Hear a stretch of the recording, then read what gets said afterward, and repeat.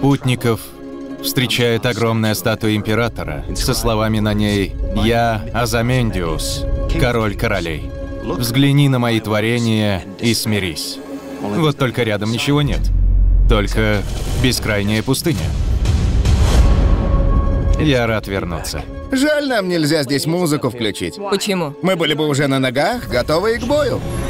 Мы рассмотрели ваш запрос на проход через нашу территорию и не будем вам препятствовать. Но и спасать вас мы тоже не будем. Нас преследуют кайлонцы. Экспедиция — это всегда риск.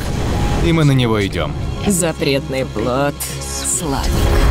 Какой хороший день. Очень хороший. Ты ведь знаешь, куда направляешься? Нет. Мы влепли. Давай вершить историю. Но я не готовился. Говори, как чувствуешь.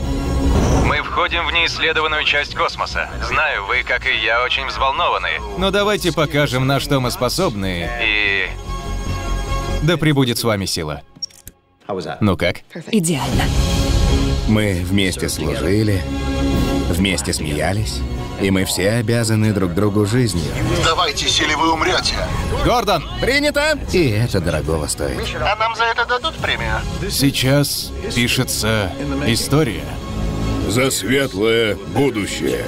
Я постараюсь, как обычно говорит лейтенант Малой, дать жару. Так держать. Нам нужно найти способ сохранить мир. Люди постоянно сводят все к крайностям. Делят на черное и белое, добро и зло. Мы можем найти способ существовать вместе. Ты кайлонец. Твоя раса желает нам смерти. После этих лет у тебя еще получается меня удивлять. Покажите Вселенной, мы не такие, как наши враги. Мы ценим каждую жизнь. Капитан, вас обманывают. Как будто вчера мы жили одной жизнью, а сегодня уже другой. И по эту сторону времени все иначе. Это стоило ожиданий.